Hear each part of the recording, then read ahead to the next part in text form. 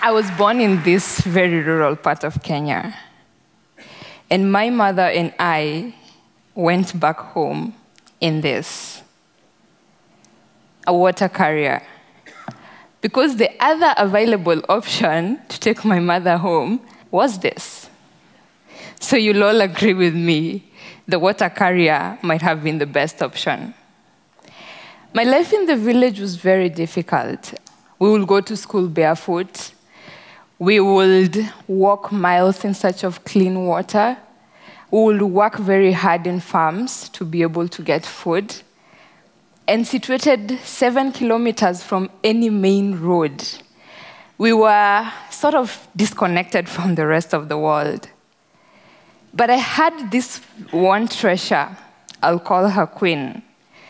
Queen was my cousin. Queen was my relative. Queen was my peer. We were just one month apart. And with the difficult village life, life with Queen made that difficult life very beautiful. But when I was eight years old, my father got a job in the city. So all of us had to move to the city. This was a new experience for me. All of a sudden, there was all these opportunities, all this information. I was enrolled in a new school that even had a library. In my life, I had never been to a library before. So all of a sudden, I had the power to dream. I had the power to have a beautiful future. I had the power to go for what I wanted. But Queen wasn't so lucky. The same year, both her parents passed, and she was living with my grandmother in the village. Life was difficult for her. I may never really know what she felt at that particular time, but life was difficult. And it didn't take long before Queen went to get married. When Queen got married, I didn't know whether to be excited because as women, we are prepared, culturally prepared to look forward to marriage. Marriage is a beautiful thing. So all of us want to get husbands. All of us want to get children. All of us want to live a happy life. So I didn't know whether to be happy that Queen actually had gotten married or to be sad because it was too early in life to get married and she may never understand what she was getting into. But in my heart, I thought she was happy or I wanted to believe she was happy. So I never minded so much about it. I continued with life. There was this whole world ahead of me. And I made very good use of it. I continued with my education. I enrolled to the university and pursued my career. I joined this organization called Trust for Indigenous Culture and Health and was in this sexual reproductive health and rights program where I had the chance to meet girls. I had the chance to create safe spaces for girls to be able to reclaim their power, move from a point of powerlessness to a point of having power, discuss their challenges, and find solutions together. I was in this point where I was able to impact the life lives of young people. And this sort of changed my life because all of a sudden I had this role model position to be able to uphold. All the girls looked up to me. So I had to make very good choices. I had to be able to live up to their expectations. So I had a path to follow that I had to follow, and I couldn't look at all these other distractions. I work with many girls. I work with girls in primary school. I work with girls in secondary school. I work with girls in the universities. And right now, I'm also doing a boys program under the Trust for Indigenous Culture and Health, TICAH. And with the girls, it's a new experience. The conversations are great. The impact that the conversations have in the lives of the girls are great. They have a power to choose at the end of the day, where they know that I have to analyze what is before me, and from it, I have to make a very good decision. We discussed so many things that range from our bodies, how to clean our bodies, relationships, sex, contraceptions, careers. And um, from that, we share both high and low moments. And one of our high moments that I wanted to share today is this group of girls. they, one of them got married at this age, and she wanted to get married. But the rest of the group couldn't take it.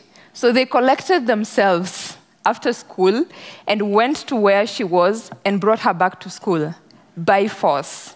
They told her she had to come back to school. So now that girl has enrolled in school and she's finishing her primary education this year.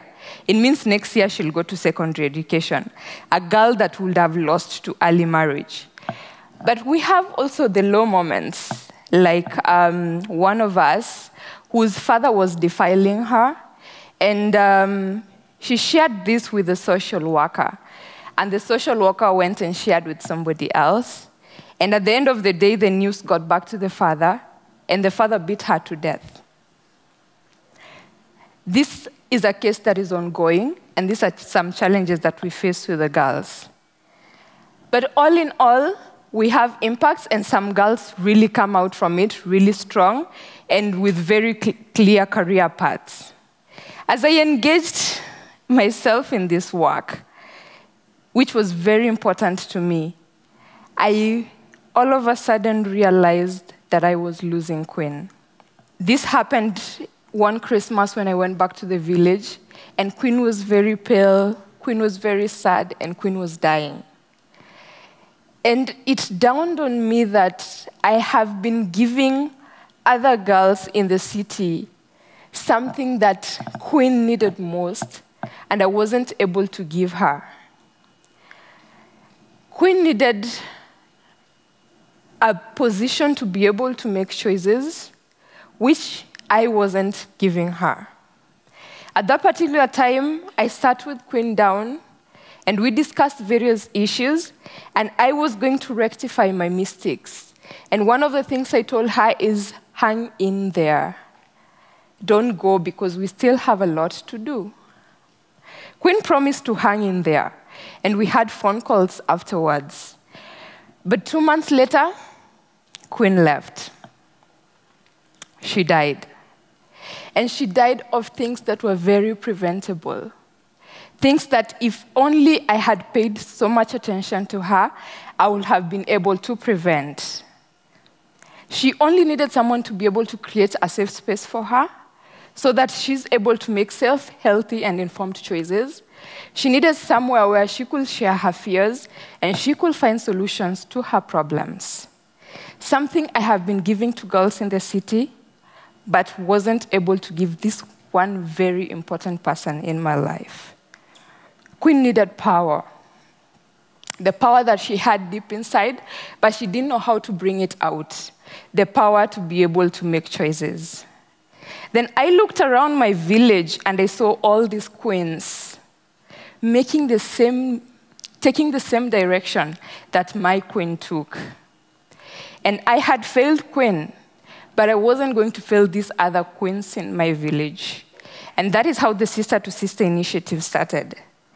The Sister to Sister initiative is an initiative in my village to be able to give these girls power, to be able to give these girls a chance to dream, because that is lacking. There is no hope, there's no chance to dream, because even when you dream, you will never be able to achieve that dream. I remember I was having a conversation with them about careers, and I asked, What do you want to be in future?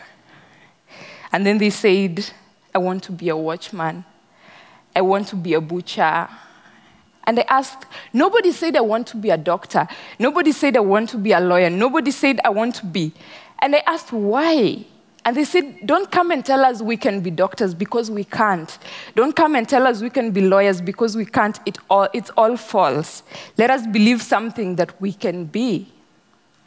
So where, why aren't they having this hope? Why aren't they going for bigger dreams? So this initiative, we draw our dreams, we draw our paths, we share our painful experiences, but we also share our brighter future, the dreams that we have in the future. And we create safe spaces for these girls to be able to do that, for these girls to be able to discuss their fears, for these girls to be able to find solutions to some of the challenges they face, and for these girls to feel free to, get, to have that power to be able to make safe and healthy choices. And one of the reasons why these girls are not able to uplift their dreams is they have so many challenges that make them drop out of school. Like a girl's basic needs, you need to have a sanitary, you need to have sanitary towels every month, but you can't afford it. So then, if this man promises to buy you sanitary towels every month and expects to get married to you, why wouldn't you say no? Why wouldn't you say yes? So, one of the things that we decided to do is teach these girls how to initiate some income generating activities to be able to buy things like sanitary towels. So that by curbing this problem, we are able to put them in school much longer. So last year, we learned how to make soap which the girls are now making, and they are selling to the villagers, and they are able to buy things like sanitary towels. They are able to buy things that they need, the basic requirements that they need, and they're able to stay in school. So then what does all this have to do with 2030 Agenda for Sustainable Development? One is equal opportunities if these girls are educated, if these girls are given the chance and the power to make healthy choices, if these girls are given equal opportunities, if these girls have quality education, then they'll be able to go for equal, to go for political, economic, any position that they want. They're able to sustainably, sustainably develop themselves. They are able to equally fight for the resources that we have. But also the failure or success of the SDGs can be seen in my life and Queen's life. I had the power to make a choice to go to school. Queen didn't. I have the power, I had the power to be able to pursue my career, go to the university. Queen didn't. I now have the power to say who I want to get married to, where I want to get married, how many kids I want to have and what life I want to live. Something that Queen died unable to do. Sometimes I sit down and I say, Queen didn't live life. Life just happened to her. She died without living life. And it all boils down to one thing choices. If Queen had a chance to hope, if Queen had the opportunity if Queen was inspired to be able to make a change in her life, if Queen had quality education and support that she needed, she will still be alive today. This is what girls need. Girls need the power and the ability to be able to make safe, healthy, and informed choices. Choices about their lives Choices about when they want to have sex and how they want to have sex. Choices about who they want to have sex with. Choices about whether they want to use contraception or not. It's not about somebody else to come and say girls shouldn't use contraception. It is the girl themselves to see do they want to use contraceptions or not. Just a chance and the power to make safe, healthy, and informed choices. If we had started this work earlier, I believe I'll, stand, I'll be standing here with Queen. But as I traveled the long mile to be here, as I came here, I know as I stand here, Queen is standing with me because she's the reason why I'm doing this work. So I invite you all to join me to make a change for these girls, to be able to provide them with education. I am we are currently building a library for these girls, a library that will have books, a library that will have internet, the first in the village, so that these girls can be connected to the rest of the world and they can be given power to dream and actually go for these dreams. So join me and the rest of the other people doing very good work like I do to be able to give a chance to these girls, to support them in whichever way you can, be a mentor, provide these spaces for them, provide education for them, and together, let's take this very important work to, towards achieving the 2030 Sustainable Development Goals. Today, let's take these steps to making life and this world a better place for girls like Queen, whose lives depend on it. Thank you very much.